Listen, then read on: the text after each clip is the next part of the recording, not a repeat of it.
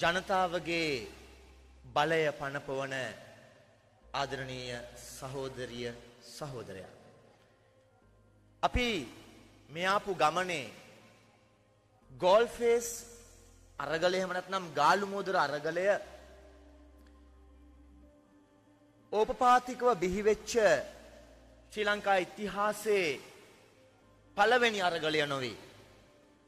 අපි දකිනවා ශ්‍රී ලංකාවේ පුරවැසි අරගලය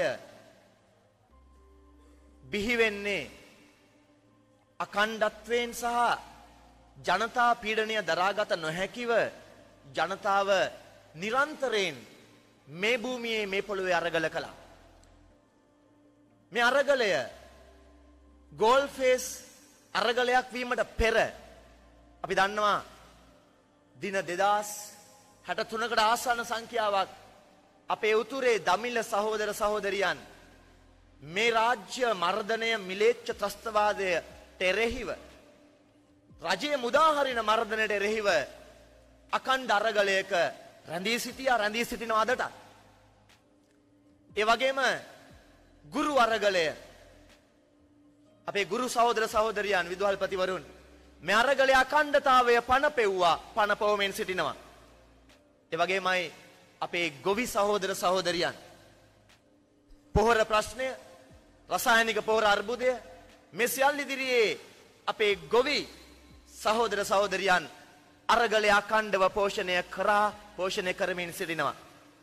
ඒ වගේම අපේ වතුකම්කරු සහෝදර සහෝදරියන් දාහ ව්‍යාපාරේ වතුකම්කරුවන්ගේ අරගලය අකණ්ඩව නොනැවති මේ මහ පොළොවේ ශක්තිමත්ව කලා කරමින් සිටිනවා. ඒ වගේම අපේ ශිෂ්‍ය අරගලය සයිට මර්ගලය සයිට එහාට ගිය ශිෂ්‍ය අරගලය අකණ්ඩතාවය ජනතාවගේ අරගලය පනපෝමින් සිටියා පනපෝමින් සිටිනවා. පාස්කු ඉරදින ප්‍රහාරයේ වින්දිතයන් අදටත් මේ අරගලය අකණ්ඩව පනපෝමින් සිටිනවා.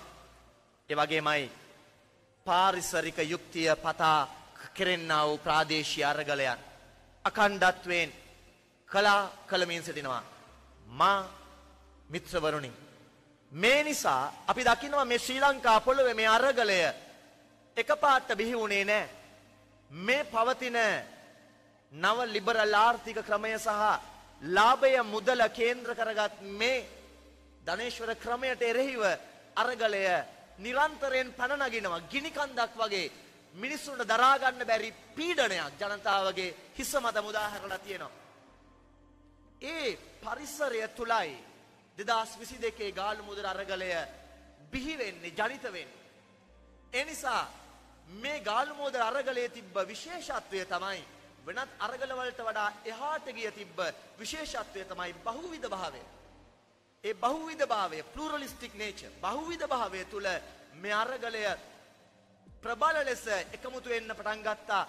ඒ වගේම අපි දැක්කා විශේෂාකාරයෙන් දේශපාලනික පක්ෂයක් හෝ ජාතියක් හෝ ආගමක් හෝ අතට නොගත්ත ජනතාවගේ පොදු භාවය තුළ සියලු ජාතියාගම් කුල දේශපාලන මතවාද පක්ෂය එකතු වෙච්ච ගාලු මෝදුර අරගලය අපි දකිනවා ප්‍රබලව ප්‍රකාශ වුණා අප්‍රේල් මාසීඳලා මේ දෙදස් විසි දෙකේ.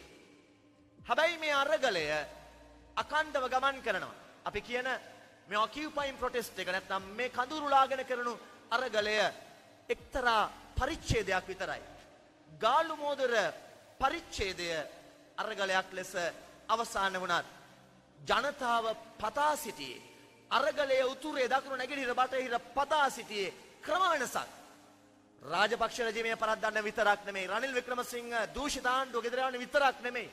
ක්‍රම වෙනසක් සමාජාර්ථික දේශපාලන සංස්කෘතිමය වෙනසක්. ඒ උදෙසයි අරගලය පැන නැග්ගේ. ඒ නිසා ආදරණීය සහෝදර සහෝදරිය අපි තේරුම් ගමු මේ අරගලය අකණ්ඩව අදටත් ඉදිරියට ගමන් කරනවා. අරගලය අවසාන නැහැ. කෙනෙකුට එහෙම පේන්න පුළුවන්. නමුත් අපි දන්නවා අරගලය පුරවැසි අරගලය නිදහස් අරගලය අකණ්ඩව ඉදිරියට ගමන් කරනවා. ඒ ගමන් කිරීමේ මේ මොහොත තමයි අපි දකිනවා ජූලි මාසේ පස්වැනිදා ගාල මුදුර අරගලේ ක්‍රියාකාරී සැලැස්ම තුලත් අගෝස්තු මාසේ 9 වෙනිදා ගාලු මුදුර අරගල කරුවන් ලෙස සංවිධානය කරන උගේගොඩ රැළියේ අපි කියා සිටියේ උපාය මාර්ගයන් ලෙස ප්‍රධාන වශයෙන්ම මේ අරගලය ආකාණ්ඩ විදිහට ගමන් කරනවා කියලා. එහි තියෙන මූලික බලාපොරොත්තු හතක් කියවුණා. එකක් තමයි මේ පවතින මර්ධනීය රාජ්‍ය ත්‍රස්තවාදයට එරෙහිව ජනතාව නැගිටීම. අද දින 73ක් වෙනවා අපේ ආදරණීය වසන්ත මුදලිගේ සහෝදරයා සිරිදම් මහමුදුරුව. ඔවුන් අද මෙතන ඉන්න ඕන අපේ සහෝදර සහෝදරිය. ඔවුන් අපිට නරගල කරලා ඔවුන් ත්‍රස්තවාද විලක්වීම පනත යටතේ මර්ධනීය ලෙස ඔවුන් අදටත් සිරේ විලංගුවේ ඉන්නවා. ඒ නිසා මූලිකවම මර්ධනය අභිබවා ජනතාවක් ලෙස නැගිටීම ත්‍රස්තවාද විලක්වීම පනත යටතේ සියලුම මර්ධනීය නීති හකුලා ගැනීම සඳහා අරගලය දියත් වෙනවා. ඒ වගේමයි ආර්ථික යුක්තිය පතා කරන්නා වර්ගලය දරා ගන්න බැරි මේ ආර්ථික පීඩන ඉදිරියේ ජනතාව ලෙස නැගිටීමේ අවශ්‍යතාවයක් තියෙනවා. ඒ ආර්ථික යුක්තිය පතා කරන අරගලය අපි තව තවත් සක්ෂීක කරනවා, සක්‍රිය කරනවා. ඒ විතරක් නෙමෙයි තුන්වෙනි කාරණය වුණේ මහජන කවුන්සිලය. ජනතාවගේ බලය තව තමත් ශක්තිමත් කරන ජනතාව නව ජන සම්මුතියක් තුළින් දේශපාලනයට දේශපාලන සාක්ෂරතාවයෙන් සක්‍රිය වෙන මහජන කවුන්සිලය. ඒ වගේමයි ජනතාව හතරවෙනි කාරණාව වුණේ මහජනතාවට පාර්ලිමේන්තුවේ නැවත ඡන්දයක් තුලින් මහ මැතිවරණයකට ගමන් කිරීම. ඊළඟ කාරණය වුණේ විධායක ජනාධිපති ධූරය අහෝසි කිරීමේ ඒ ඉල්ලා සිටීම සහ ඒ වෙනුවෙන් අරගල කිරීම. ඉන්පසුව නව ආණ්ඩුක්‍රම ව්‍යවස්ථාවක් පතා කරන අරගලය සක්‍රිය කිරීම සහ ක්‍රම වෙනස. මෙන්න මේ කරුණු හත තමයි ජූලි 5 වෙනිදාත් අගෝස්තු 9 වෙනිදාත් මේ ගාලු මුදල් අරගල කරුවන් ලෙස දේශයක් ලෙස අපි කියා සිටියේ. එහෙනම් අදට අපි ඇවිල්ලා තියෙනවා මේ ඒ අකණ්ඩ අරගලේ තවත් එක් බලවත් ප්‍රකාශනයක්. එනම් මහජන කවුන්සිලය. මහජනතාව පොළොවේ ඈත ගම් නියම් ගම් දක්වා සීලු ජාතියාගම් කුල සීලු මතවාද එක්සේ සත්ව මේ ක්‍රමය වෙනස් කිරීම සඳහා කරන්නා වූ අරගලය ඒ අරගලයට සහභාගී වෙච්ච ඔබ සියලු දෙනාටම ස්තුතිවන්ත වෙමින් මම නිහඬ වෙනවා.